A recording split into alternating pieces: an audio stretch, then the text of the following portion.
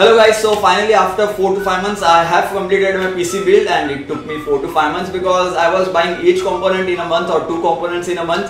So that's why it was like I, I bought SSD first, then I bought graphics card, then I bought motherboard, then I bought the hard disk, then I bought something else, then I bought something else and that is how I completed my PC build because it was not possible for me to buy all the components at one go. So finally I have got all the components and the build is completely up and running and this build is specifically a video editing build so that's why the parts are uh, according to the video editing build. Uh, so that's why you might not see graphics card of high end and you might see processor uh, costly or something like that.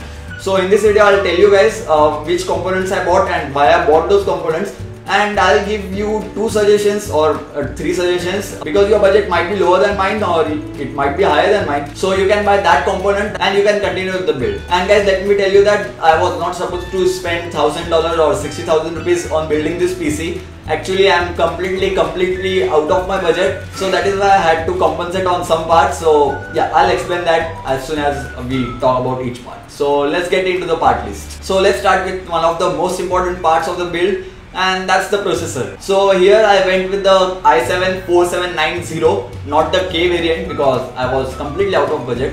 And frankly speaking 4790 is exactly similar to Xeon 1231 version 2 the only difference is that in the 4790 you get inbuilt graphics and in the Xeon 1231 version 2 you do not get inbuilt graphics. And if you get a graphics card like separate graphic card then uh, you don't have to worry about that also because if you have separate graphics card and a Xeon then they will work same as i7 and a graphics card because when you use graphic card and i7 anyways the inbuilt graphics of the i7 are not used unless and until you don't select and use the option of using uh, inbuilt graphics of the i7 so the extra thing that you get with the 4790 is that turbo boost is up to 4 gigahertz with the 4790 whereas with the xeon it is limited to 3.6 gigahertz and uh, overclocking the Xeon might be little tough but overclocking the 4790 will be little easy than the Xeon. So yes as I said if you have same budget as mine then go for 4790 rather I'll say that go for 4790K because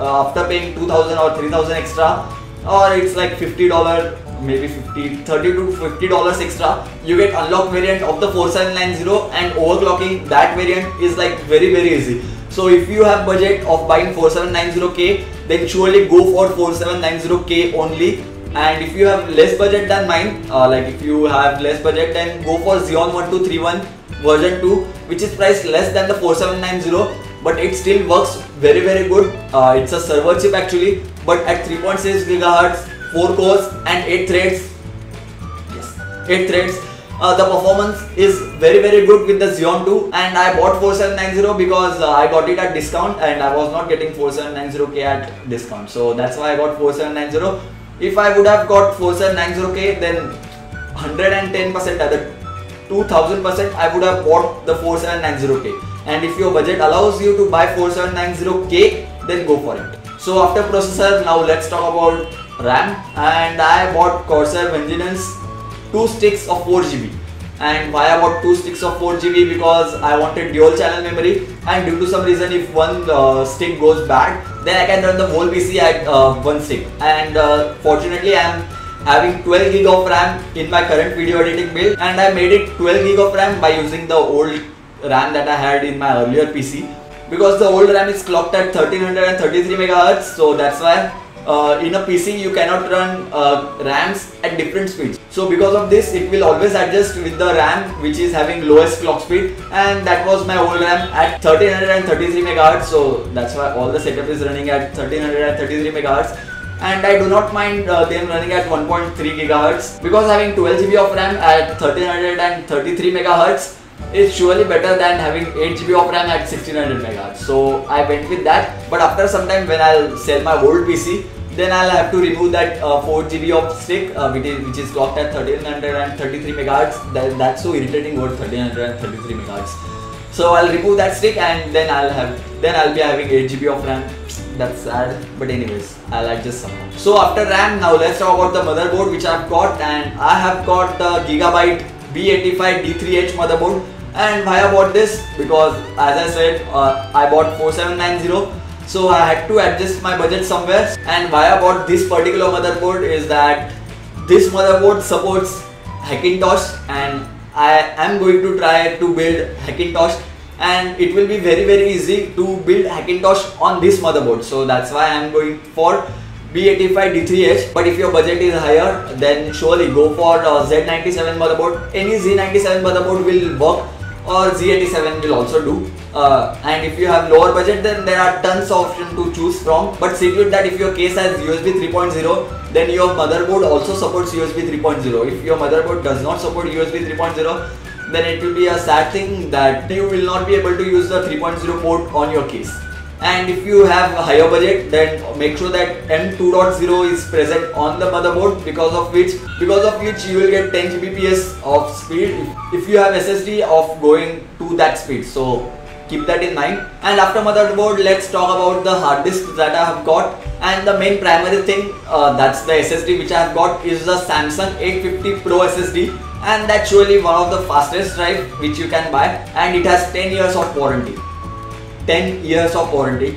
So that's why I went with the SSD and this is the first time that I am playing around with the SSD and it's been a month that I am using SSD and surely I have to say that the SSD is like very very good uh, it surely increases the performance of the PC boot time is like negligible and with the 12 GB of RAM and 4790 the PC boots up in 10 to 15 seconds and it's not like just booting up and it's like after 15 seconds if I click on Chrome then the Chrome opens up immediately or any other application, uh, let it be any application, it will open up very immediately. So it's like it's not just booting up just to show that it has booted up and I do not have to wait after that. So SSD surely give very very very good performance and uh, if you have higher budget then unfortunately there is no other SSD costlier than this or better in performance than uh, Samsung 850 Pro so you may have to stick with 850 Pro. There are Intel SSDs but unfortunately they are not available in India as of now at least. They will be available soon so you can go for those options or else if you stay in US or uh, some other country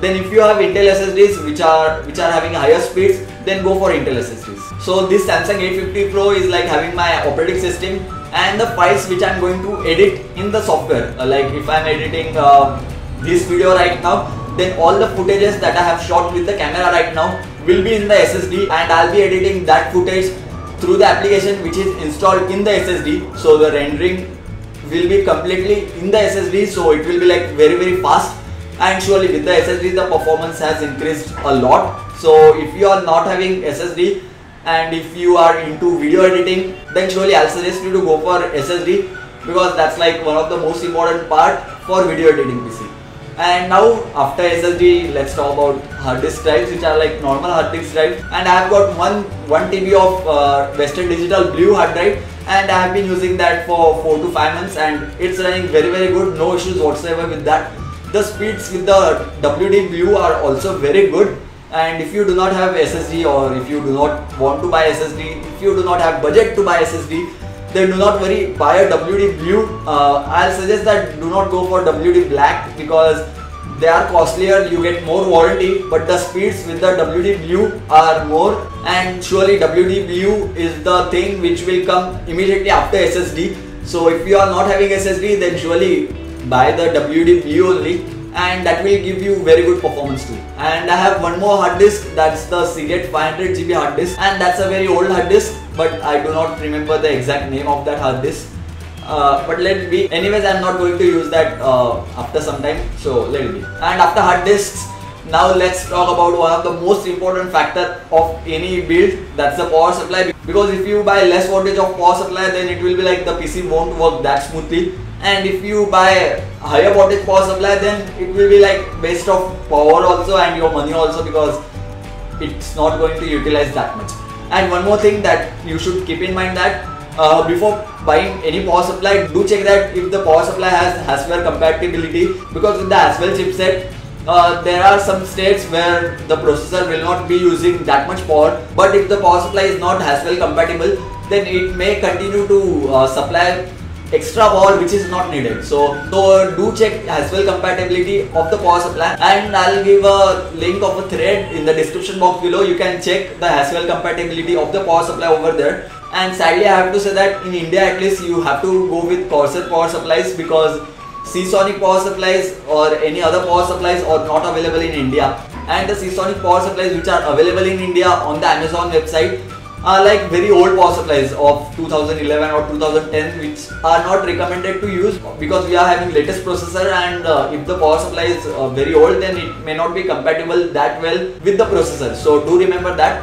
So I had to go with Corsair and I went with the Corsair 600M uh, M stands for modular and the advantage of having a modular power supply is that you can attach only those cables which are necessary for your rig and all other extra cables can be removed very very easily. So that is why I went with modular power supply but if you do not have budget of a modular power supply then you can go with VS power supplies. Those power supplies are also trusted but the ratings are a little low than the modular power supplies. And if you have a higher budget uh, then I don't know what to buy in India at least because there is nothing more than modular power supplies that you can buy. But don't forget to check how much wattage your rig will need because you don't want to end up buying extra wattage power supply like buying 1000 watt power supply and your system requires only 300 watts.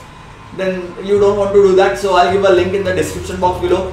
You can put your components over there on that site and it will give you a rough idea of how much wattage power supply you should buy. So do check that out so after power supply now let's talk about the graphics card which I have got. And I have got the Asus 750 Ti graphics card. Uh, it's a 2GB DDR5 graphics card and it will work very fine for me. Actually I did not want to buy uh, this graphic card also. I wanted to buy a little cheaper one. But my brother said that he wants to play games so I got the 750 Ti because 750 Ti will be good enough to play games at medium settings and at 720p or 1080p. Uh, so 750 Ti is like very good for me and in video editing CPU is one of the most important part so that is why having higher end CPU than the graphics card is always important for video editing. But if you are someone who want, likes to play games then surely I'll suggest you rather than buying i7 buy i5 and buy higher end graphics card because that will improve the game's performance tremendously. Actually graphics card is one of the department in India where you have many many choices. So do check all your options. And if you don't want to check any options then go for 750 Ti because it is working very very fine for me. No issues with that. And after buying all these components I'll have to put all those components in a case. So I bought Circle CC830 frankly speaking I wanted to buy the NZXT H440 or the Corsair 230T but I was not able to find those cases in uh, online anywhere or even on the Lamington Road I was not able to find them and that is why I had to go with Circle CC830 and surely I do not regret my decision because Circle CC830 came out to be very very nice and I have already done the review of it. I'll give a link of video review of the Circle CC830 in the description box below. You can check that out. Uh, so now let's talk about the performance of the rig. So to keep that in numbers, I'll say that earlier PC which I had uh, took 17 minutes to render one video uh, which I have rendered on that PC and after I rendered it on this PC it took me 7 minutes. So it's like 10 minutes of difference. And video editing surely runs very very very very smoothly with this build because 12 gigs of RAM 4790 and Asus 750 Ti and with the 600 watt power supply. Everything runs very smoothly no issues whatsoever. And all the games which I ran. I did not run many games. I ran only NFS Most Wanted, which almost everyone has in India, and the Sleeping Dogs and Mortal Kombat X. All these games ran very very smoothly at high settings also they ran very smoothly. I did not try GTA 5 because I am yet to get my hands on GTA 5 but after I do I'll surely make a video about that too. And if you are interested in benchmarks of this PC then uh, as you can see these are the results of the benchmarks